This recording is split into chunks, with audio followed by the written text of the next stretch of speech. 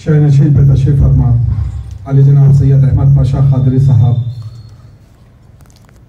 M A चार मीनार और तमाम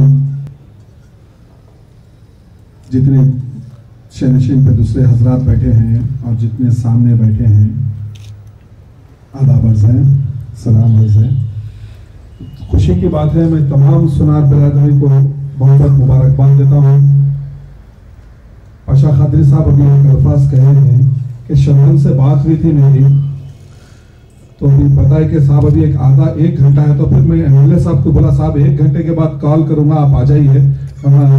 एमएलए साहब सबसे पहले रहने वाली शख्सियत का नाम है सैयद अहमद पाशा खादरी साहब कहीं कुछ होता है तो सबसे पहले एमएलए साहब रहते हैं।